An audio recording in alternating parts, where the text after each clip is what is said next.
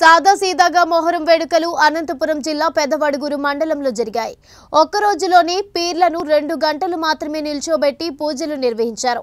అనంతరం ఈ సందర్భంగా గ్రామ ప్రజలు మాట్లాడుతూ ఎంతో ఘనంగా జరగాల్సిన మొహరం వేడుకలు ఇలా సాదాసీదాగా జరగడం చాలా దయనీయంగా ఉందని చాలా బాధపడుతున్నాము అని అన్నారు.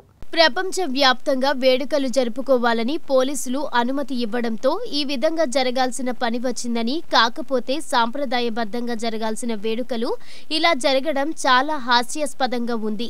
ఏదేమైనా గాని ప్రజలంతా కూడా సుఖ సంతోషాలతో ఉండాలని ఆ దేవుణ్ణి కోరుకుంటున్నట్లు ప్రజలు తెలిపారు. ఈ కార్యక్రమంలో గ్రామ పెద్దలు పాల్గొన్నారు.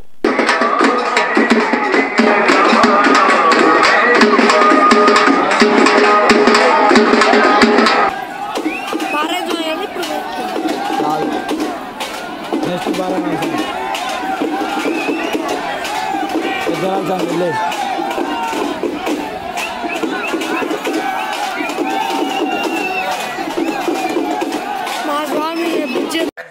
ప్రజలకు విజ్ఞప్తి ఏమనగా ఈ కారుణ వచ్చినందువలన మోహరం ఏదో విధంగా నిలుపుదల అవుతుందని కానీ దేశమంతటా భయభ్రాంతులతో ఈ కరోనాతో వల్ల చాలా నష్టాలు ఘోరాలు జరిగాయి కాబట్టి ఈ మహమ్మారి కరోనా. ఆ, మోహరం.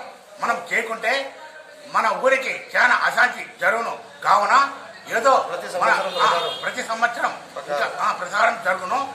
కావున ఒక్క సంవత్సరం చేయకుంటే మూడేళ్ళు మూల పడిపోను అందువలన మనము ఈ మోహరాన్ని ఎందుకంటే మనం ఏ తరతరాల నుండి చేస్తున్నాం కాబట్టి ఈ మోహరాన్ని మనం విడిచిపెట్టకూడదు. విడిచిపెడితే ఊరికి అశాంతి జరుగును. అందువలన ఈ స్వాముల్ని పెట్టెలో ఉంటే గడ్డ తీసి కూర్చోబెట్టి సజంపులు ఇచ్చి పీర్లు పెట్ట పైకి ఎగ్గటవలను ఇంతే. ఒక గంట అనుమతి ఇచ్చిన ఒక గంట అనుమతి.